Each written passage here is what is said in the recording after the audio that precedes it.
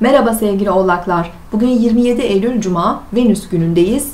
Bugün yaşadığınız yerdeki rahatlığınızı arttırmaya yönelik çeşitli değişiklikler yapma düşünceleriniz olabilir. Bazı dekorasyon planları veya tadilat düşünceleri gün içerisinde zihninizi meşgul edebilir.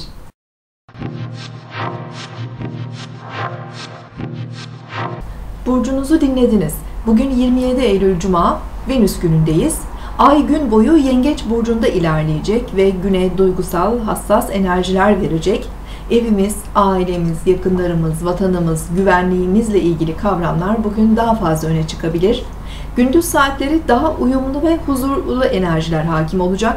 Özellikle Venüs-Jüpiter arasında oluşacak üçgen açının pozitif etkisini hem ilişkilerimizde hem de maddi konularda hissedebiliriz. Akşam saatlerinde Ay Plüton'la karşıt e, Uranüs'e kare açı yaptığında biraz duygusal gerginlik ve huzursuzluk hissedebiliriz. Kendimizi güvende hissetme ihtiyacı artabilir. Yakın çevremizle olan ilişkilerimizde daha dikkatli ve anlayışlı olmalıyız. Yarın tekrar görüşmek üzere. Hoşçakalın.